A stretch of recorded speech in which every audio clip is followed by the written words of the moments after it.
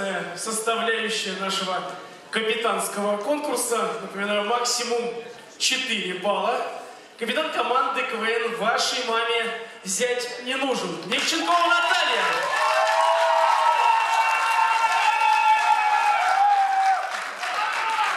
Добрый вечер, Зеленоград! Тема капитанского – знаменосец. Дело в том, что я знаменосец нашей команды. Весь сезон тащу этих козлов за собой.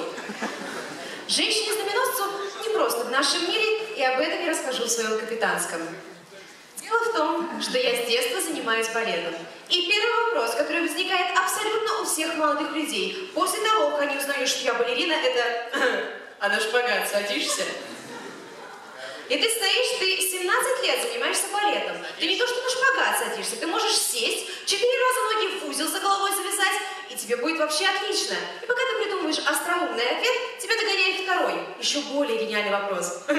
А покажешь? И ты стоишь в короткой юбке, тебе сейчас ну вообще неудобно показывать.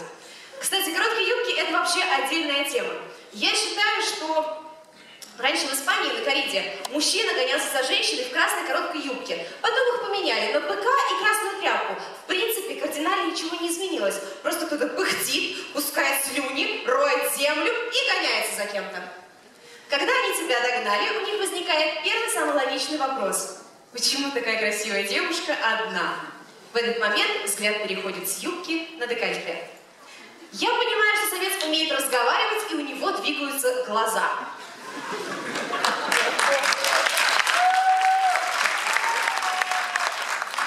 Мужчины, вы правда думаете, что в эту секунду я должна броситься к вам на шею и сказать, Господи, ты такой классный, ты умеешь фокусироваться сначала на а потом сразу на двух?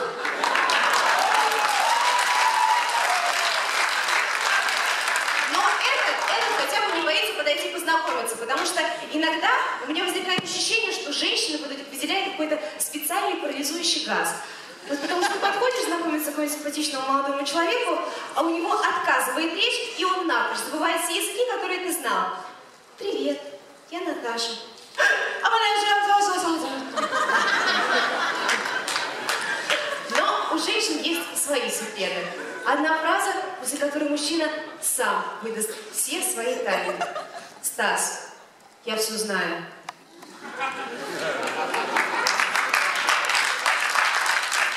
Вот мужчины, ответьте, почему не ногти?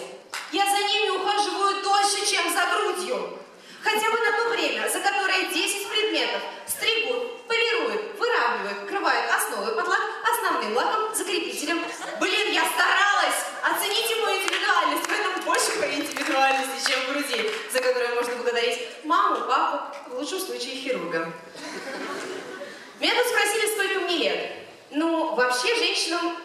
задавать такой вопрос, но я отвечу, мне 20. Гоня!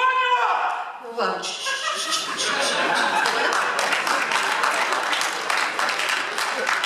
Мне 22. И всем девушкам этого возраста задают два идиотских вопроса. Первый это, ну чё, замуж не собираешься? Второй это, ну чё, рожать не собираешься? Иногда мне кажется, что мой приезд к родственникам письмом. Да, все хорошо, нет, не собираюсь. Потому что это какой-то замкнутый круг. Вот ты думаешь, я порадую родственников, выйду замуж, рожу ребенка, и ты действительно возвращаешься с мужем, с ребенком, а они тебе, а второго рожать не собираешься. Ты думаешь, да, почему второго нет?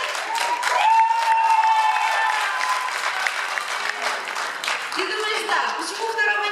Материнский капитал все-таки возвращаешься с двумя взрослыми, красивыми детьми. Они тебе, ну чё, внуков не собираешься? И тут ты возвращаешься. Мать героиня родила 16 детей, 8 взяла из детдома, они тебе 17 рожать не собираешься. Девятого не хочешь установить? Да блин, как вы не догадались, я собираю футбольную команду Микчестер Юнайтед. И напоследок, часто задают КВН. Как тебе играете в команде с двумя парнями? Все-таки вы едете на игры в другие города, живете вместе, ночуете. Я согласна. С четырьмя было бы как-то поприкольнее, а то уже чувствую, что теряю свою популярность. Микченкова Наталья, вашей маме взять не нужен. Спасибо!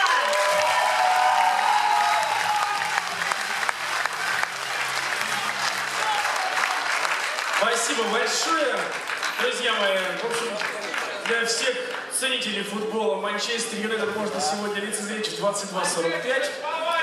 Но, а, дорогие самцы, а, есть ли вопросы к выступлению Натальи? Да, можно? Да, Николай, прошу. А, Наталья, вы знаете, я умею фокусировать взгляд сразу на трех вещах. И такой вопросик. Ты рожать не собираешь? А, слушай, красавчик. слушай, а я думала, мы друзья, да?